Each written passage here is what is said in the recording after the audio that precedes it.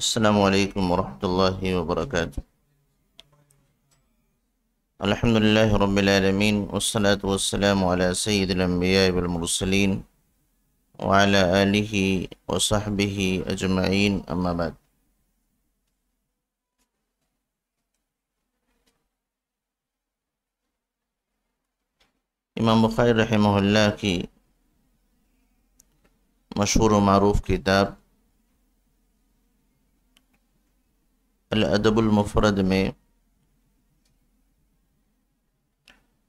पड़ोसियों के हकूक़ से मुतक़ अहादीस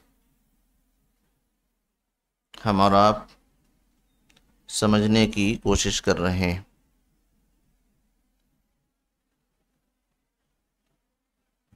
दिन इस्लाम में पड़ोसियों के कितने हकूक़ हैं या पड़ोसियों से मुतक़ कितनी ताकीद की गई है इस बाब की या पड़ोसियों से मुतक़ जो पहली हदीत ज़िक्र की गई, उसी से वादे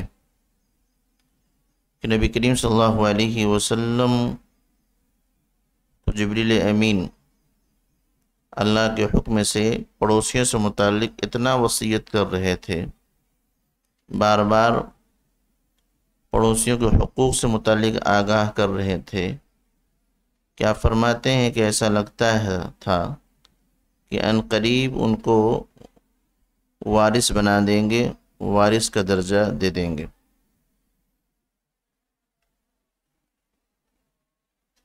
वरासत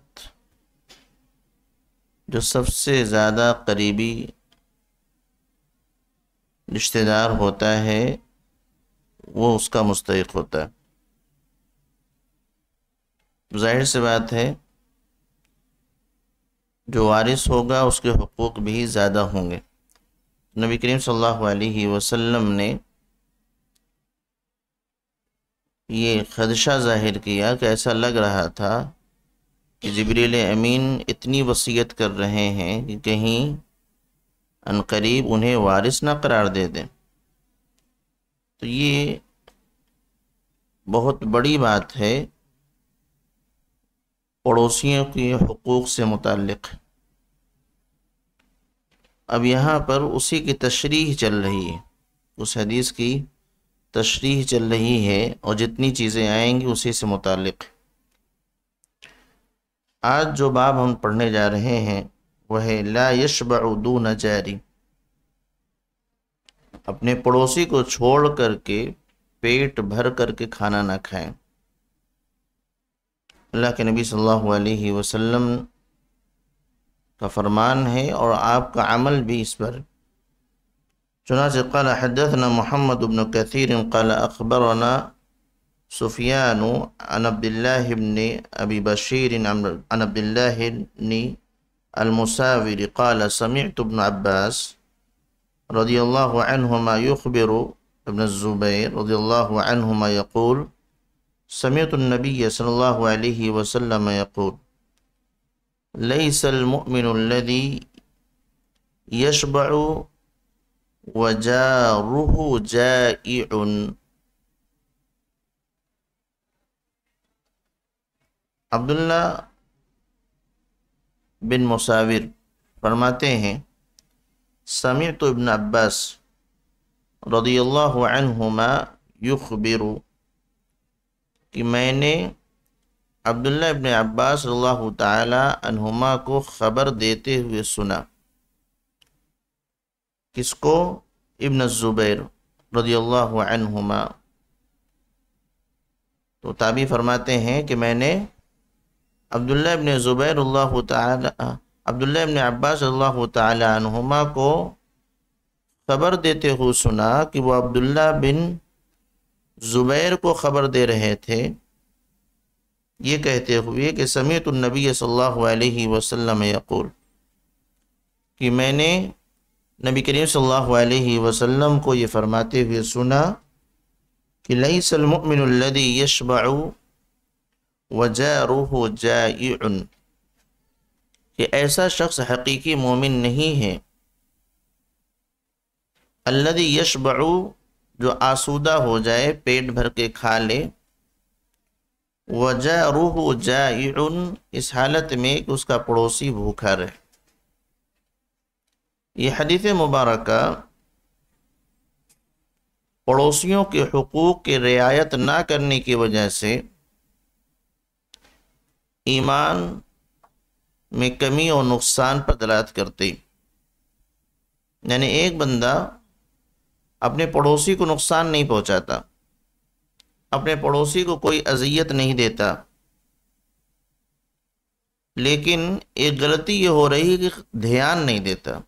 एक होता है कि आगे बढ़ के नुकसान पहुँचाए, तकलीफ़ दे। यहाँ मामला इस बंदे ने कोई तकलीफ़ नहीं पहुंचाई।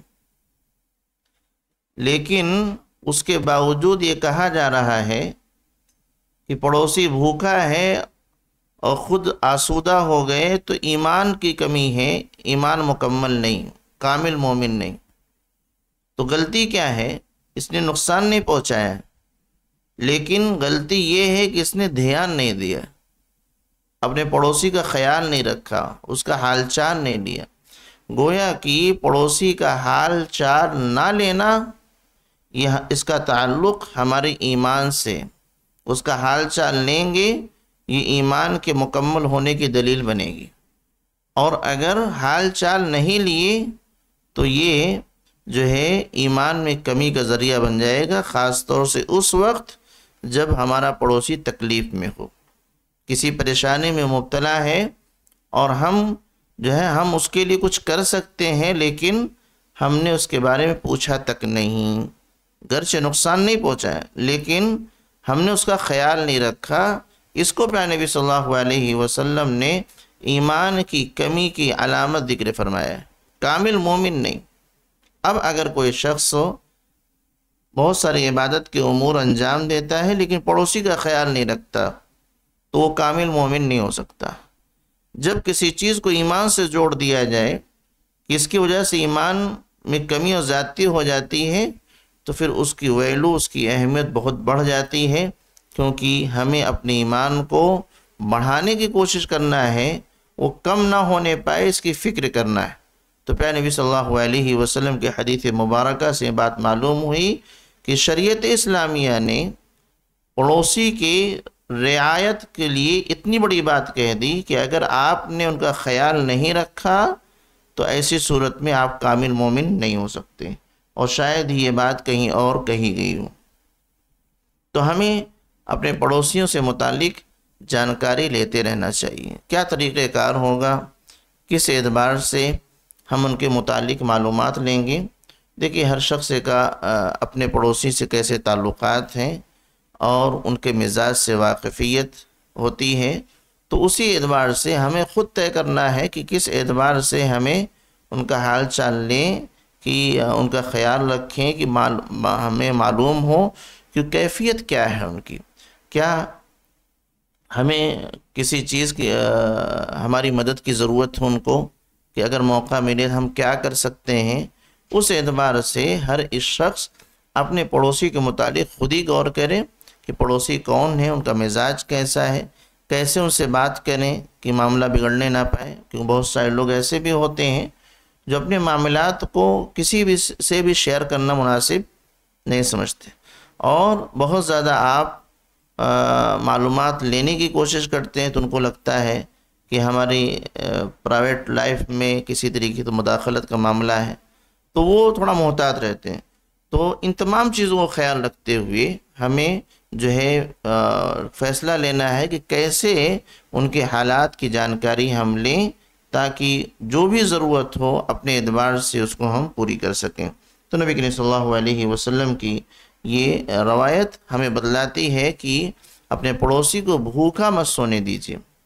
वो कोई भी पड़ोसी हो, किसी भी धर्म का मानने वाला हो, वो पड़ोसी है तो उसका ये हक है। या किसी भी मकाम पर हम सफ़र में हैं हमको एक निगाह हमको रखना चाहिए कि जो हमारे पड़ोस में है, उन्होंने खाना वगैरह खाए। आप पेश कर दें, वो खाएँ या ना खाएँ, क्योंकि बहुत सारे मामला इसमें भी हैं, दूसरे खाना चाहिए कि नहीं खाना चाहिए।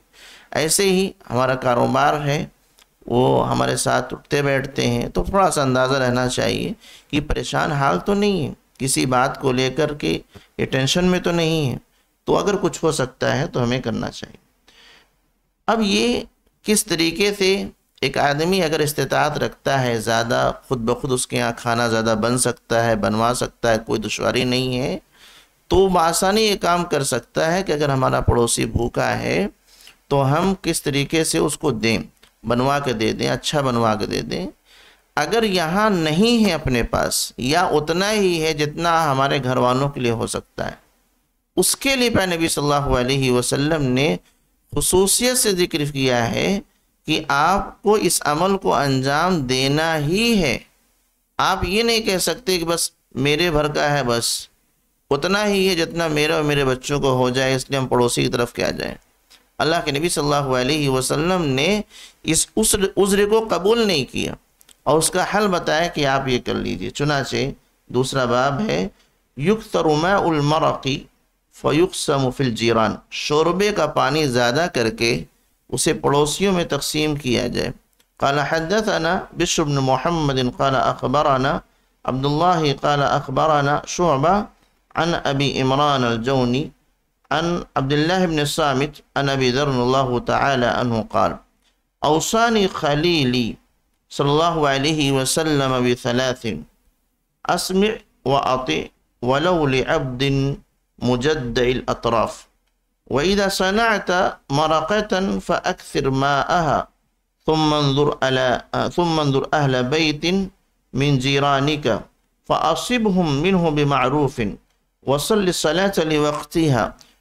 फ़ैन वजतलमाम कद सल्ला फ़कद अहरस्ता सलात का व अल्ला फ़हिया नाफिलतन अबूदर्ल्ला तहों से रवायत है, फरमाते अवसानी खलीली, मेरे दोस्त ने मुझे वसीयत की। खलील, एकदम जिगरी दोस्त को कहा जाता है खलील, का लफ्ज इस्तेमाल होता है। तो अवसान खलीली अबूदर्ल्ला फरमाते हैं कि मेरे खलील ने मुझे वसीयत की बिसलासिन तीन चीज़ों की। पहली चीज़ थी असमी व अति कि समात करो। वलो लिअबदिन मुजद्दिल अतराफ। अगरचे तुम्हारा हाकिम कोई ऐसा गुलाम हो जिसका कान कटा हो यानी एक तो गुलाम ले और दूसरी चीज़ खिलकत के एतबार से भी उसमें कमी है। कान कटा हुआ है तो उमूमन ये ऐब के तौर पर देखा जाता है। कम मरतबे। वाला। और ये ग़ुलामी के साथ कुछ चीज़ें ख़ास होती हैं निशानजत कर दिया जाता है। कान काट करके कान में छेद करके ये छोड़ दिया जाता है कि पता चले कि हाँ ये ग़ुलाम। तो कहा ऐसा ग़ुलाम जो कम रुतबे वाला है जिसकी कोई हैत नहीं कनकटा गुनाह को जल्दी कोई ख़रीदना पसंद नहीं करेगा अगर ये हाकिम बन गया तो समोतात करो। उसकी बात को सुनो और उस पर अमल करो इतात करो। इस्लाम में हाकिम की समोतात के लिए बहुत उभारा गया, बहुत तलकीन की गई है और समोतात से इनकार करने पर सख्त वाइज सुनाई गई। और इसके असरात, जिस समाज व माशरे में इस पर अमल होता है, वहाँ अमन व अमान होता है। जहाँ इसके ख़िलाफ़ होता है, वहाँ अफरा तफरी मचती है, शर फसाद होता है और अमन सुकून सब गारत हो जाता है। कई मिसालें हमारे सामने अरब बहारिया के बाद देखने को मिली। तो इस्लाम ने बड़ी तलकिन की है कि समोतात करना, हाकिम वक्त के समोतात करना, उसकी बात को सुनना है, उस पर अमल करना है, जब तक कि शरीयत के ख़िलाफ़ ना हो। तो एक वसीयत अवसानी खलीली, मेरे दोस्त ने तीन वसीयत की है। तो एक वसीयत ये थी कि अमीर की समोतात करें। दूसरी है, वईदा सनात मरक़तन फ़अक्सर माह कि जब तुम शोरबा बनाओ तो उसका पानी ज़्यादा कर दो। तुम मंजुर अहल बैत जीरानी उसके बाद गौर कीजिए अपने पड़ोसियों में से लोगों जो घर वाले हैं, उन पर गौर कीजिए कि कोई ज़रूरतमंद है क्या? फ़ासिब हम मिन हो बेमारूफ़िन। तो उन तक शोरमा पहुँचा दीजिए बेमारूफ़िन, अहसन तरीके से। ये लफ्ज़ मारूफ का आया है। अहसन तरीके से अच्छे अंदाज में कि उसको बुरा ना लगे, लोगों को मालूम ना हो कि किसी के घर से खाना आ रहा है। क्योंकि ये उमूमन लोगों के दरमियान गुफ्तु का मौजू बन जाता है कि फ़ना फ़ना को खाना खिलाता है। फ़ना के यहाँ से आता है, तब इनका घर चलता है। तो ये चीज़ आने ना पाए। फ़ासिब हम मिन हूँ बेमारूफिन।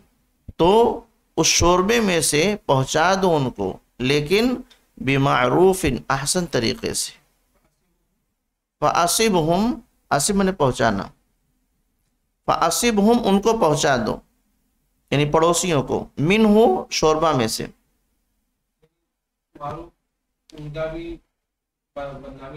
जी। जी जी दोनों एतबार से बेमारूफिन जब आदमी मारूफ का असल रहा तो नेकी करना अगर आदमी नेकी समझ के कोई काम करता है तो हर पहलू से निगाह रखता है कि कहीं से ये नेकी का काम हमारे लिए जो है ये ज़ाय ना हो जाए। हमेशा उसकी फ़िक्र करता है, ताकि नेकी नेकी ही रहे, इसकी फ़िक्र करता है। तो अपनी जानब से भी रियाकारी वगैरह ना है दूसरी तरफ़ सामने वाले की बदनामी वगैरह भी ना हो। चुपके से काम किया जा सकता है, या जो भी तरीका हो हदिया तोहफे के नाम पर भी लोग करते हैं कि आज हमारे यहाँ बना, आप भी ले लीजिए, वगैरह। वसल सलात वक्त और नमाज़ को उसके वक्त पे पढ़िए। फ़ैन वजत इमाम कदसल्ला अगर आपने इमाम को इस हालत में पढ़ा कि वो नमाज़ पढ़ चुके हैं, फ़कद अहरस्त सलात का तो ऐसी सूरत में आपकी नमाज़ महफूज हो गई। या आपने अपनी नमाज़ को महफूज कर लिया। व फ़हिया नाफिला। और अगर ऐसा ना हुआ, इमाम को आप पाए इस हालत में कभी नमाज़ वो नहीं पढ़े तो आप उनके साथ जब नमाज़ पढ़ेंगे तो फिर ये वाली नमाज़ आपकी नफिल हो जाएगी। ये तीसरी वसीयत थी प्यार नबी सल्लल्लाहु अलैहि वसल्लम की अबूदर तहों के लिए। और जहाँ जो सेगा इस्तेमाल किया अवसानी खलीली, मेरे खलील ने, जिगरी दोस्त ने मुझको वसीयत की। पता है चला, जब दोस्त वसीयत करेगा तो इन वो बेहतर से बेहतर ही चीज़ों को वसीयत करेगा कि मेरे दोस्त को भी फ़ायदा पहुँचे। तो ये तीन चीज़ें अल्लाह के नबी सल्लल्लाहु अलैहि वसल्लम ने वसीयत की। एक अमीर के हवाले से समोतात दूसरा पड़ोसियों के ताल्लुक से, और तीसरा ये है कि नमाज़ को उसके वक्त पे पढ़ना, और दूसरा ये कि बस अवकात हम कहीं किसी मकाम पर हैं नमाज़ का वक्त हो गया तो हम पढ़ लें। नमाज़ को हम पढ़ लें। उसके बाद हम मस्जिद आते हैं, और पता चला कि अरे अभी तो जमात हुई नहीं है। अगर हमने मस्जिद पहुँचे पता चला जमात नहीं हुई तो वहाँ पर भी नमाज़ इमाम के साथ पढ़ लें। अब सवाल ये पैदा होता है मैंने तो अपना पढ़ लिया था। तो ये होगा कि आपने जो पढ़ लिया है वो आपकी नमाज़ फ़र्द हो गई यहाँ जो पढ़ रहे हैं वो क्या होगी? नफिल। हो जाएगी। और अगर इस हालत में आप पाए कि मस्जिद पहुँचे पता जमात हो चुकी है आपने अपनी नमाज़ पढ़ लिया पहले ही पढ़ लिया है तो गोया कि आपकी ये फ़र्द हो गई वक्त पर जिसको आपने अदा कर लिया है। तो नमाज़ के हवाले से इतनी तलकीन पै नबी सल्लल्लाहु अलैहि वसल्लम ने की कि वक्त से पढ़ने की कोशिश कीजिए। नमाज़ को उसके वक्त पर इन सलातमिन किताबम मौकू था कि नमाज़ को मोमिन पर फ़र्द किया गया है वक्त की पाबंदी के साथ। कि जिसका जो वक्त है, जिस नमाज़ का, उस नमाज़ को उसी वक्त पढ़ा जाए। तो ये प्या नबी सल्लल्लाहु अलैहि वसल्लम ने वसीयत की तीन। इनमें से जो हमारा महल इस्तेशाद है, बाप से इसका ताल्लुक है, वो ये है कि पैनबी सल्लल्लाहु अलैहि वसल्लम ने फरमाया कि शोरबा बना रहे हैं तो उसमें शोरबे में पानी ज़्यादा कर दीजिए। ये जहन में रहे कि ज़्यादा करने की वजह कि देखेंगे शायद पड़ोसियों में कोई ज़रूरतमंद हो, उस तक खाने का बंदोबस्त नहीं हो सका है तो हम पहुँचा सकें। ये इतना अहतमाम गुजशत से जोड़ें कि वहाँ कहा गया कि अगर हम आसूदा हो गया पड़ोसी भूखा रह गया तो हम कामिल मोमिन नहीं। तो अब सवाल ये पैदा होता है कि हमारे पास है तो हम पहुँचा दे रहे हैं, लेकिन हमारे पास उतना ही है जितने में हमारा पेट भर सकता है, या हमारे बच्चों का पेट भर सकता है तो हम क्यों पहुंचाएँ? तो अल्लाह के नबी सल्लल्लाहु अलैहि वसल्लम ने उसका एक हल पेश किया। आप शोरबा बढ़ा दीजिए। आज जो हमारा सालन होगा, वो थोड़ा सा हल्का हो जाएगा तो और क्या होगा? लेकिन पेट तो भरेगा दो लोगों का। अगर एक तरफ़ सालन हमारा हल्का हुआ तो दूसरी तरफ़ नेकी भारी हो रही है। ईमान मुकम्मल हो रहा है। सालन हल्का करने से ईमान मुकम्मल हो रहा है।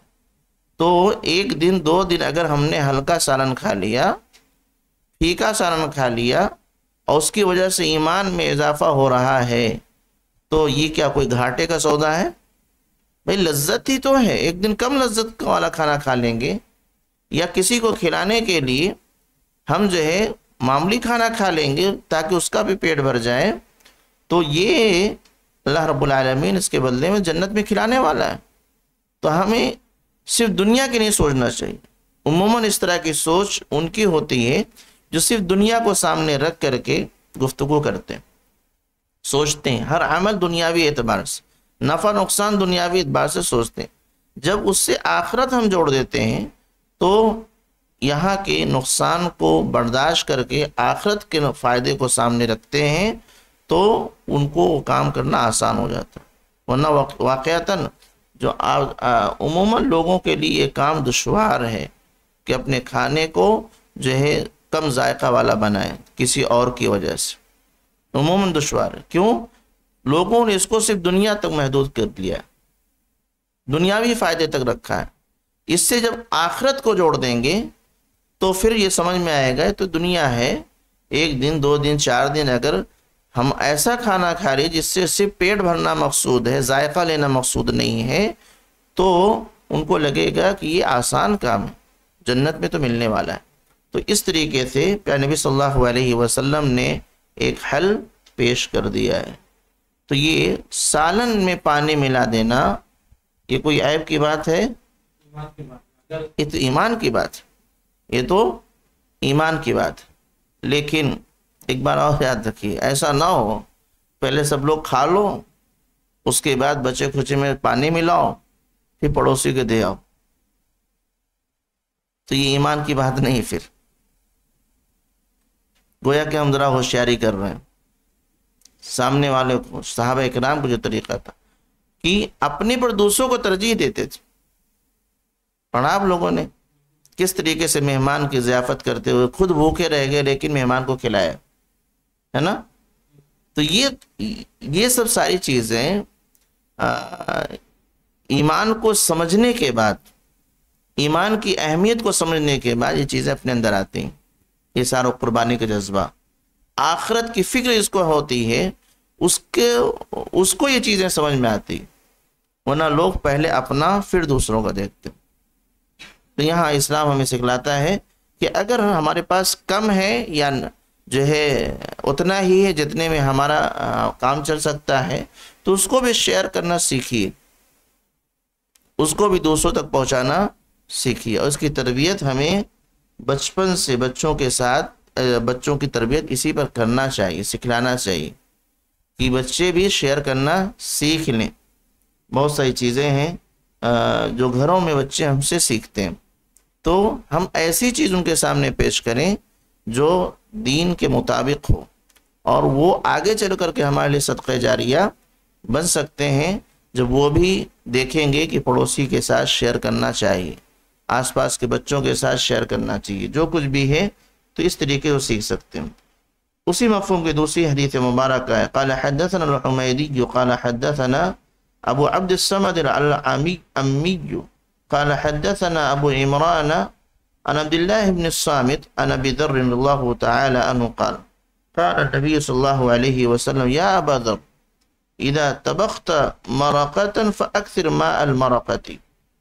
वताहद जीरानक फ़ी जीरानिक अबूदर फरमाते हैं कि नबी करीम सल्लल्लाहु अलैहि वसल्लम फरमाया बदर ए अबूदर इदा तबख्त मरक़तन जब तुम सालन बनाओ तो फ़अक्सर मरक़ती तो सालन के पानी को ज़्यादा कर लो वताहद जीरानक और फिर अपने पड़ोसियों का ख्याल रखो जब सालन आपने तैयार कर लिया तो अपने पड़ोसियों का ख्याल रखें, या आपने फरमाया अपने पड़ोसियों में तकसीम करें।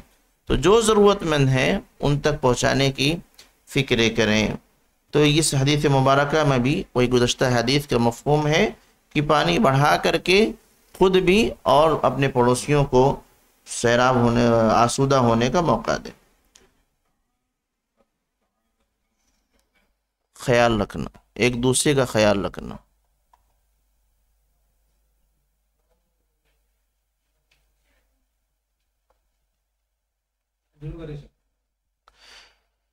बाबू खैर जीरानी। अगला बाब है, बेहतरीन पड़ोसी कौन? काल हदतना अब्दुल्ला इबन यजीद, काला हदतना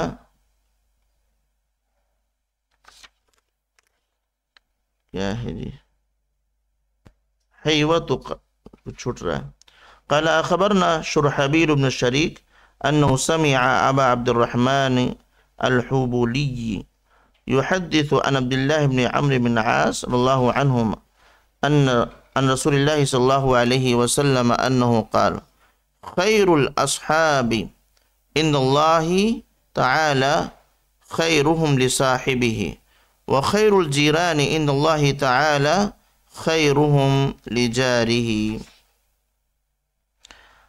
अब्दुल्ला बिन अमर बिन आस तहुमा से रवायत है कि नबी करीम वसल्लम ने फरमाया असहाबी, कि इन लिसाहिबिही। अल्लाह ताला के यहाँ बेहतरीन साथी वो है जो अपने साथी के लिए बेहतर हो, या दोस्तों में से बेहतर वो है जो अपने दोस्तों के लिए बेहतर हो। और अल्लाह ताला के यहाँ बेहतरीन पड़ोसी वो है जो अपने पड़ोसी के लिए बेहतर हों। व खैरजीरान इंदल्ला ताला खैरुम लिजारिहिम। कि अल्लाह ताला के यहाँ बेहतरीन पड़ोसी वो हैं जो अपने पड़ोसी के लिए बेहतर हों। पता यह चला कि अल्लाह रब्बुल आलमीन ने किसी के बेहतर होने के लिए अपने नज़दीक का हुक्म नहीं दिया कि जो मेरे नज़दीक ज़्यादा करीबी होगा, वो बेहतर होगा। बल्कि इसको समाज से जोड़ दिया कि जो पड़ोसियों के लिए बेहतर है वो अल्लाह के नज़दीक बेहतर है।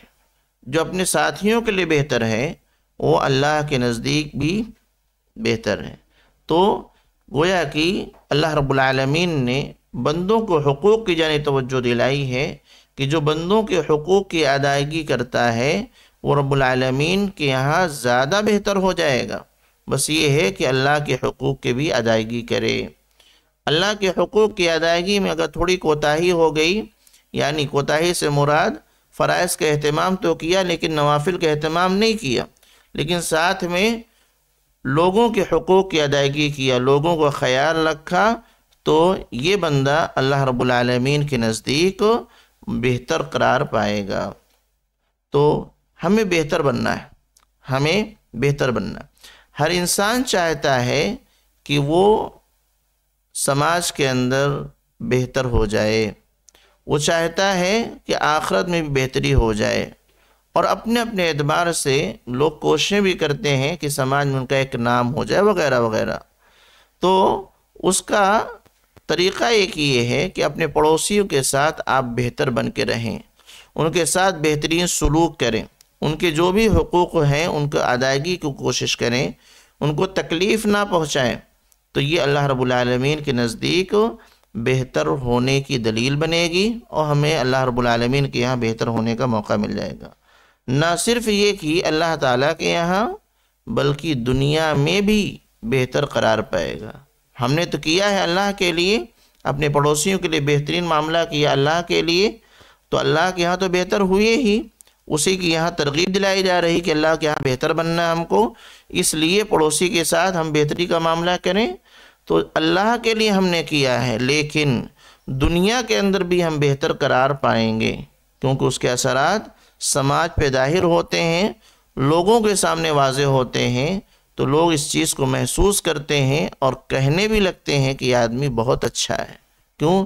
अपने पड़ोसियों का बड़ा ख्याल रखता है। हमें ये कहलाना असल मकसद नहीं था। असल मकसद ये था कि अल्लाह के यहाँ हम बेहतर करार पाएँ। उसके लिए हमने अपने पड़ोसियों के साथ उसने सलूक का मामला किया, बेहतरी का मामला किया। उसके बदले में अल्लाह रब्बुल के यहाँ तो हम बेहतर हुए, लेकिन साथ में समाज के अंदर भी बेहतर हुए। यही चीज़ लोग नहीं समझ पाते। तो क्या करते हैं कि दुनियावी एतबार से समाज में बेहतर होने की कोशिश करते हैं। तो कभी कभी उसका सिला दुनिया में मिल जाता है और कभी कभी नहीं मिल पाता और आखरत तो बिल्कुल फिर नहीं होती। तो कभी भी ये काम हम करें तो आखरत को सोच के करें और उसकी वजह से दोनों फ़ायदा हासिल होगा। अल्लाह के नबी सल्लल्लाहु अलैहि वसल्लम की एक रवायत दूसरा बाब है, अलजर नेक पड़ोसी। इससे पहले था बेहतरीन पड़ोसी, अब है नेक पड़ोसी। कल हदतना मोहम्मद बिन कसीर कल अखबरना सुफियान अन हबीब बिन अबी साबित कल हदसनी खुमैल अन्नाफि बिन अब्दुल हारिस रज़ियल्लाहु अन्हु अन नबी सल्लल्लाहु अलैहि वसल्लम क़ाल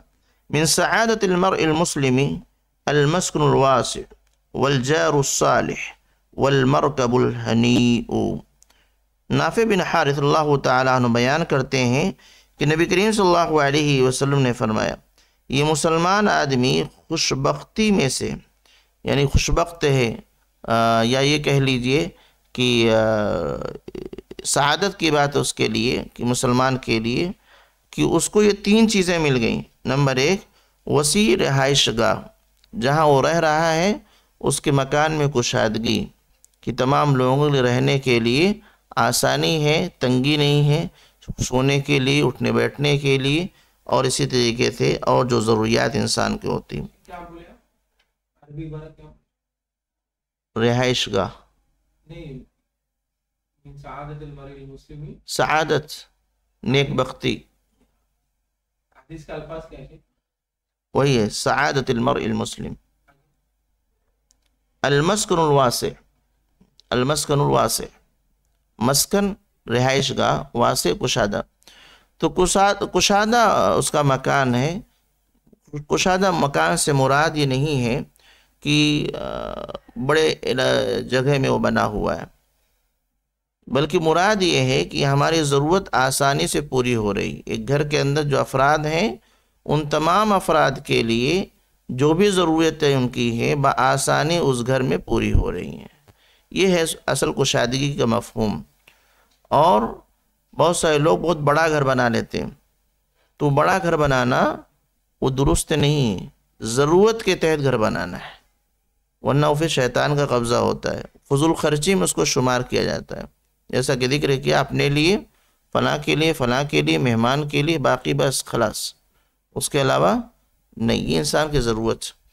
तो बहुत सारे लोग बड़ा घर बनाना चाहते हैं। बड़ा से मुराद, यहाँ कुशादा कहा गया है यानी उस घर में हमारी तमाम तो ज़रूरियात बसानी पूरी हो रही हैं। ये मुराद। दूसरा सआदत बख्ती की बात है उस मुस्लिम इंसान के लिए कि उसको जो पड़ोसी मिला है अलजर सालह नेक बन, मिला है। पड़ोसी भी उसको क्या मिला है? नेक और साले मिला है। नमाज़ का पाबंद है, अल्लाह के हकूक़ की रियायत करने वाला है, बंदों के हकूक़ की रियायत करने वाला है। तो सालहियत उसके अंदर तो सालह इंसान, अगर हमारा पड़ोसी हो जाए तो ये हमारे लिए सदत बख्ती की बात है। वलमर कबुल हनीम, और आरामदा सवारी मिल जाए। यानी ऐसी सवारी जिस पर हम आराम से सफ़र करें। पहले जानवरों की सवारी हुआ करती थी। तो उससे मुराद क्या है कि वो सवारी, वो जानवर घोड़े की शक्ल में हो, ऊँट की शक्ल में हो, गधे की शक्ल में हो, हमें आसानी से सवार करा ले और हमारे सफ़र को जो है तय करा दे। ये कहते हैं कि बेहतरीन सवारी मिल गई। आज के दौर में भी अल्लाह रब्बुल आलमीन ने गाड़ी घोड़े की शक्ल में जो भी है, अगर हमें मिल गई है और उससे बसानी हम सफ़र कर पा रहे हैं तो ये भी शहादत मंदी की बात है। लेकिन ये बात याद रहे कि आसान सवारी का मफहम ये नहीं है कि एक के बाद दूसरी दूसरी के बाद तीसरी तीसरी के बाद चौथी बदलते चलें और अपने फ़ैशन और शौक़ पूरा करें। ज़रूरत पूरी करें। ज़रूरत के तहत आरामदा गाड़ी ख़रीदना और उसका इस्तेमाल करना ये दुरुस्त है। तो ये तीन चीज़ें जिनको मिल गई, ये बड़ी शहादत की बात। इंसान अपने घर में सुकून चाहता है तो सुकून में तमाम लोगों के लिए जब कुशादगी रहेगी तो मसाइल नहीं पैदा होते। बहुत सारे मसाइल इस वजह से पैदा होते हैं कि घर में उतनी कुशादगी नहीं है और उसकी वजह से एक दूसरों के हकूक़ को का इतलाफ़, हकूक़ तलफ़ी होती। एक दूसरे के हक़ पूरा, ज़रूरियात पूरी नहीं होती तो मसाइल जन्म पाते हैं। तो ये भी तो कुशादगी अगर है तो ये ज़रूरियात पूरी होंगी और बसानी ये काम हो जाएगा तो घर में सुकून हासिल हो जाएगा। एक घर कुशादा होने का मफहम यह भी है कि घर वाले कुशादा दिल हो जाएँ। एक तो है, घर कुशादा सबकी ज़रूरत पूरी हो रही है। दूसरा ये है कि घर वाले कुशादा दिल हो जाए।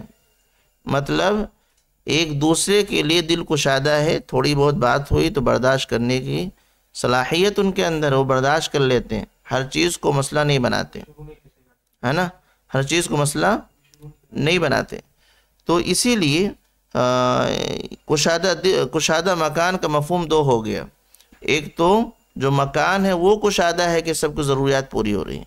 दूसरा ये कि जो उस मकान में आ, लोग रह रहे हैं उनके दिल एक दूसरे के लिए कुशादा है कि थोड़ा सा तंगी भी है तो क्या हुआ? सब्र कर लेते हैं और एक दूसरे का ख्याल रखते हैं। तो इस ऐसे घर में सुकून इतमान मिलता है। लेकिन अगर घर के अफरा घर तो बड़ा है, लेकिन लोगों के दिल कुशादा नहीं है तो बड़े घर में भी सुकून नहीं मिलता है। तो दोनों चीज़ें होना चाहिए, ज़ाहरी और मानवी दोनों एतबार से घर कुशादा हो। इसी तरीके से पड़ोसी अगर अच्छा हमें मिल गया, नेक और साले मिल गया तो हम कहीं भी हैं, हमको सुकून है इतमान कि जो फ़र्द हमारे घर के बगल में रह रहा है, वो काबिल अतमाद है, वो नेक है साले है। वो हमारे घर वालों के साथ कुछ गलत नहीं करेगा, कुछ गलत नहीं सोचेगा। तो साले होना चाहिए। तो इसकी एक फ़ायदा की बात, ऐसे ही सफ़र कर रहा है, आदमी यहाँ से वहाँ कहीं जाना है तो उसको सवारी मैसर है तो उसकी ज़िंदगी सुकून से गुजरती। तो ज़ाहरी तौर पर इस दुनिया के अंदर हमें जिन चीज़ों की ज़रूरत है, जिससे हमें सुकून इतमान मिल सकता है, एक हमारा घर सुकून इतमान का गहवारा बन जाए। दूसरा, हमारे जो पड़ोसी हैं, वो नेक और साले मिल जाए ताकि कोई ख़तरा ना रहे, वक्त पर वो हमारा साथ दे दें। और दूस, तीसरा ये कि हम कहीं सफ़र कर रहे हैं तो सवारी नसीब हो जाए। तो ये तीन चीज़ अगर हासिल होती हैं तो अल्लाह के नबी सल्लल्लाहु अलैहि वसल्लम ने फरमाया कि सआदत की बात है उस बंदे के लिए अल्लाह रब्बुल आलमीन हम तमाम को ये सआदत नसीब फरमाए हमें ख़ुद नेक और सालेह पड़ोसी बनने की तोफ़ी दे ताकि हम दूसरों के जो हमारे पड़ोसी हैं, उनका हम ख्याल रख सकें बस करें वक्त शायद हो रहा है हुँ? हम्म? तो इन अहादीस को पढ़ने पढ़ाने का मकसद ये कि इन अहादीस पर हम अमल करें। हमारी ज़िंदगी में इसके असरात ज़ाहिर होने चाहिए। तो ज़ाहिर सी बात है, इंसान बगैर पड़ोसी के नहीं रह सकता। उसकी फितरत ऐसी अल्लाह रब्बुल आलमीन ने बनाई है कि कहीं भी रहेगा, किसी के पड़ोस में रहेगा। तो ये अहादीस हमें सिखलाएँ और अमल करने पर आमादा करें कि हमारे जो पड़ोसी हैं, उनके साथ हमारा रवैया कैसे हो। हम उनके लिए नेक बन जाएँ और वह हमारे लिए नेक बन जाएँ। ताकि अल्लाह रबालमीन के यहाँ हम बेहतरीन लोगों में शुमार हो जाए। रबालमीन आलमीन नसलम की तोफ़ी दे और हमें इन अहादीस पर अमल करने वाला बनाए और हमें भी नेक व सालह पड़ोसी बनने की तोफ़ी दे और ऐसे पड़ोसी हमें भी इनायत फरमा। आमीन। तकबी रबालमीन अल्लाम वरहमल वर्का